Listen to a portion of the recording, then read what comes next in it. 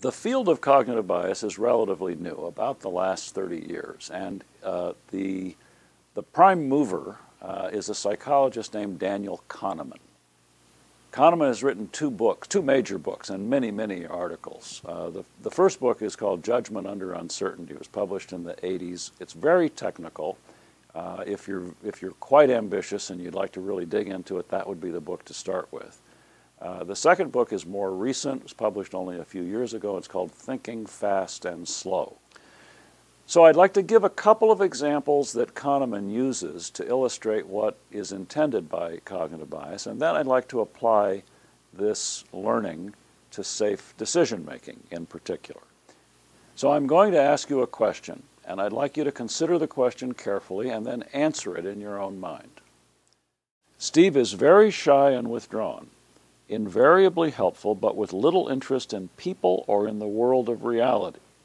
A meek and tidy soul, he has a need for order and structure and a passion for detail. Is it more likely that Steve is a farmer or a librarian? So now think about how you answered that question. What went through your mind in the process of making that decision?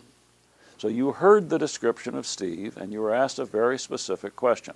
What went on in your mind when you went to answer that question? What did you refer to mentally?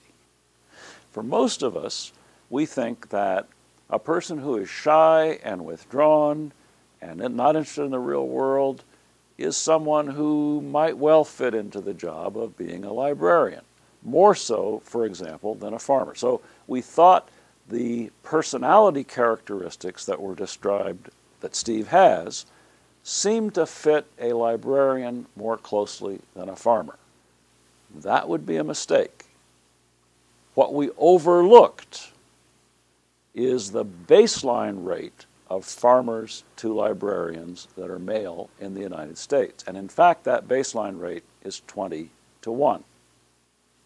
Now, do you see the pattern between these two examples? The first one be with driving, where the, the cognitive bias was to not take the data into account. And again, here, it's the same idea.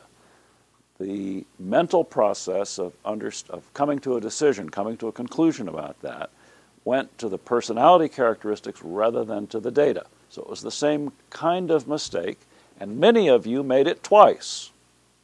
I certainly did. It, the common person makes that mistake twice. So there are two things I want you to learn from that. One is it's a really easy mistake to make.